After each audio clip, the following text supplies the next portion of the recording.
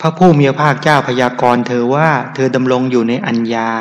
ท่านผู้นี้เป็นพระอรหันต์ภิกษุรูปนี้เป็นได้บรรลุอาราธผล ภิกษุณีบรรลุอาราธผล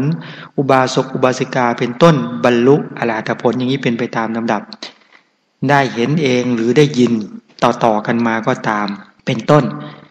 ว่าเป็นผู้มีศรัทธาอย่างนั้นมีศีลอย่างนั้นมีสุตตะมีจาระมีปัญญาอย่างนั้น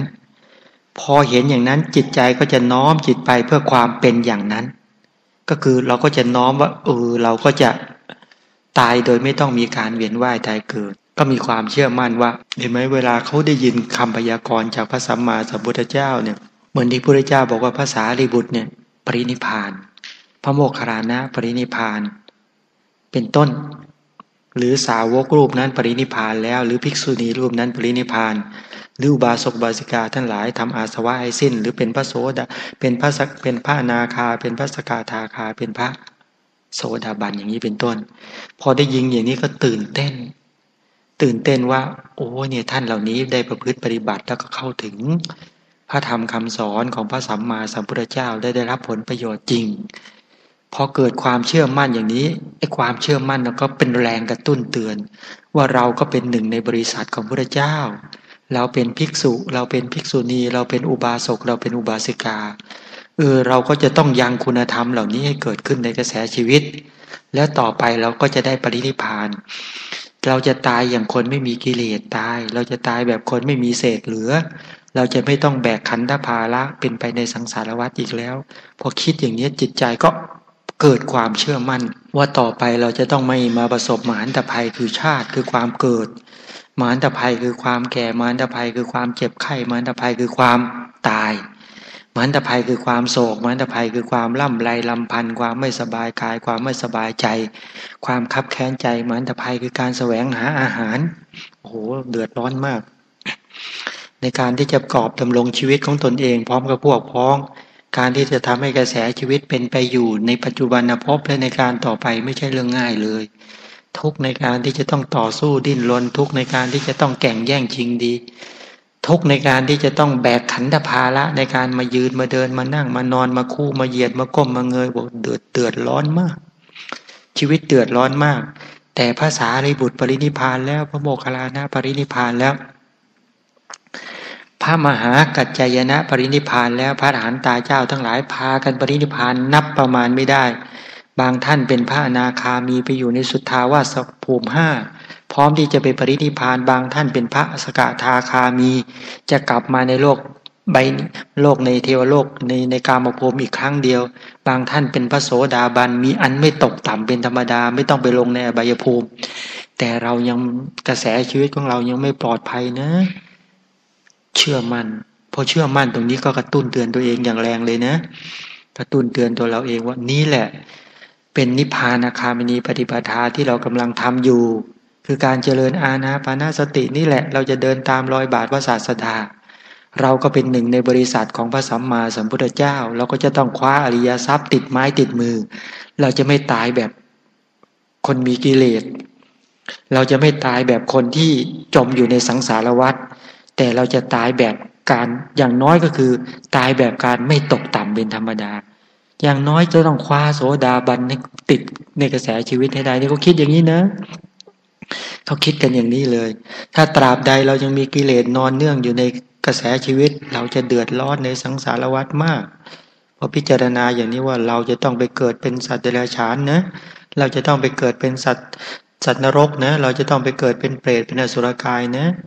เรานั่งอยู่ในสถานที่ตรงนี้เนี่ยตอนเช้าๆเราจะได้ยินเสียงนกร้องเนี่ย ถามว่าเขาร้องอะไรรู้ไหมเขาร้องบอกว่าในสมัยก่อนในสังสารวัฏเนี่ยเขาเคร่งครัดมาก เขาเกิดเป็นอุบาสกเป็นอุบาสิกาเป็นภิกษุเป็นภิกษุณี แต่ที่สุดจริง ๆ ก็คือเขาไม่สามารถทำกิเลสให้หมดจากกระแสชีวิตได้ ดูสิเขาต้องมาร้องเจ็บปวดมาทรมานอย่างเนี้ย นี่เขาเตือนเราอยู่ตลอดเวลาเนะ พระภิกษุก็ดี ภิกษุณีก็ดี อุบาสกบาสิกา ซึ่งเป็นผู้ใคร่ครวญในการประพฤติปฏิบัติ แม้เห็นอบายศาสตร์อย่างนี้ก็พากันสะเทือนใจ บางทีพระเถระนำพาลูกศิษย์เดินไปบินทบาทเนะในขณะที่ไปเดินไปบินทบาทเดินไปเดินไป ไปเจอควายเดินผ่านมาเจอช้างเจอวัวเดินผ่านมา ท่านก็ชี้บอกว่านี่ท่านทั้งหลายนี่เรายังไม่พ้นนะว่างั้นนะ ถามว่าราคะโทสะที่เป็นเหตุให้เกิดเป็นสัตว์เดรัจฉานเรายังละไม่ได้ ราคะโทสะโมหะเป็นเหตุให้เกิดเป็นสัตว์นรกเราก็ยังละไม่ได้เนี่ยพอพิจารณาอย่างนี้เบ็ดเสร็จปุ๊บก็เกิดศรัทธาก็เรียกว่าศรัทธาสัมปทาเชื่อมั่นหนึ่งเชื่อมั่นปัญญาตรัสรู้ของพระตถาคตสองเชื่อมั่นพระธรรมที่พระองค์ทรงแสดง สามเชื่อมั่นภาริยสงฆ์ที่ท่านปรินิพานและภาริยสงฆ์ที่ท่านไปอยู่ในสุทธาวาสภูมิรอวันปรินิพาน และพระสกทาคามีพระนาคามีที่มีการไม่ตกต่ำเป็นธรรมดา เชื่อมั่นอริยเขาเรียกว่าจากศรัทธาหนึ่งเนะตถาคตโพธิศรัทธาก็ขยายเป็นรัตนตยตศรัทธา ก็คือศรัทธาในพระรัตนตรัยว่าท่านศรัทธาในพระรัตนตรัยพอตั้งมั่นในพระรัตนตรัยเบ็ดเสร็จปุ๊บ ก็มีความเชื่อมั่นในตนเอง เชื่อมั่นว่าเราเป็นบริษัทของพระชินเจ้า มาในโลกใบนี้เราจะมาเก็บอริยทรัพย์ เราเป็นบุตรของพระพุทธเจ้าพุทธเจ้าเป็นพ่อ ฉะนั้นเหมือนกับเศรษฐีใหญ่นะเศรษฐีใหญ่มีลูกนะ เศรษฐีใหญ่มีลูกอยู่หกคนตรงนั้นเออเศรษฐีใหญ่เนี่ยมีลูกอยู่หกคนนะ เออ ในคนที่หนึ่งเนี่ย เป็นผู้ที่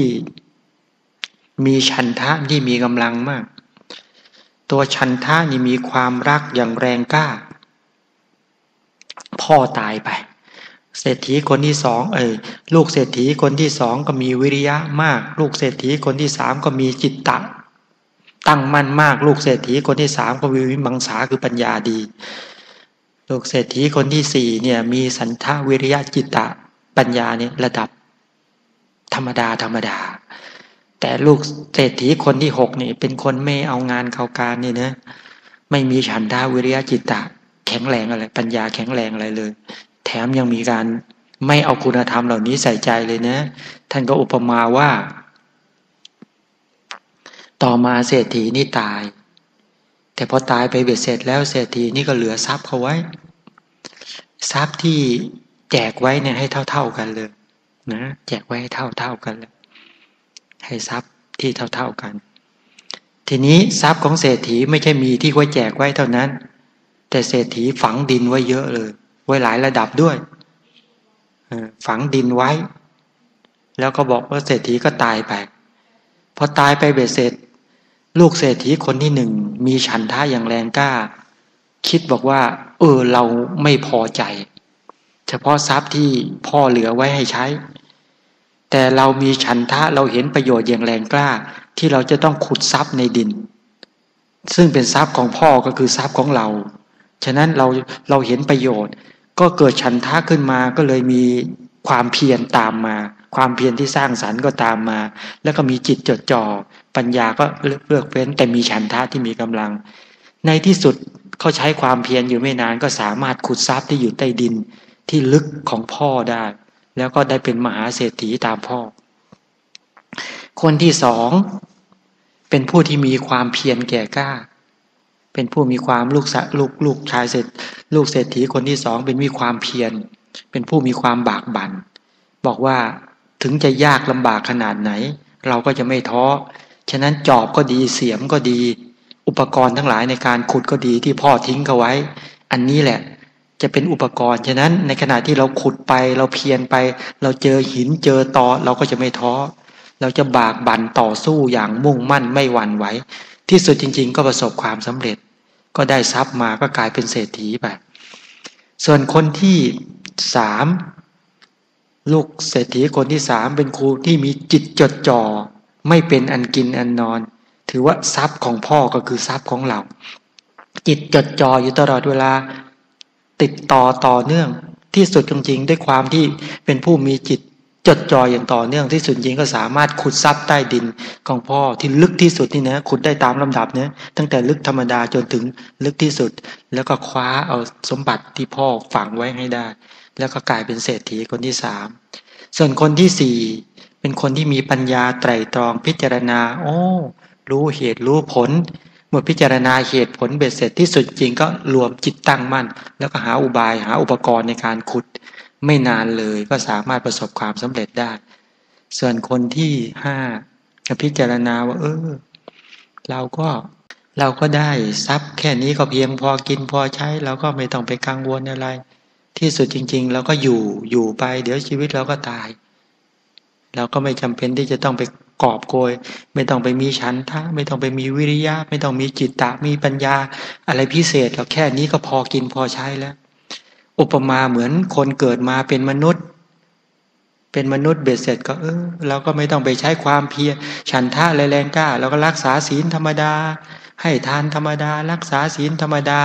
ไม่ต้องมุ่งมั่นในการเจริญสมถะทำจิตให้บริสุทธิ์ ไม่ต้องมุ่งมั่นทำปัญญาให้บริสุทธิ์ เอาแค่ศีลเอา เอาแค่ทานแค่ศีลก็อยู่อย่างเงี้ย ที่สุดจริง ๆ ก็พอเลี้ยงอัตภาพของตนเองไปได้ ก็ไม่ทุศีลอะไรนะ ที่สุดจริงก็เลยไม่ได้ทรัพย์ในดิน ซึ่งเป็นทรัพย์ของพ่อ ก็เลยไม่ได้เป็นมหาเศรษฐีกับเขาเลย ส่วนคนที่หกจอบและเสียมอุปกรณ์ที่พ่อให้ ทรัพย์สมบัติที่พ่อมีขายเกลี้ยงเลย หมายกับคนทุศีลเนี่ย ข้อแรกก็ไม่รักษาข้อที่สองสามสี่แถมก็กินเหล้าเมายาผ่าที่สุดยิงก็กลายเป็นคนล้มเหลวกลายเป็นขอทานไปก็อุปมาว่าเออเราเกิดมาในศาสนาของพระชินเจ้าเนี่ย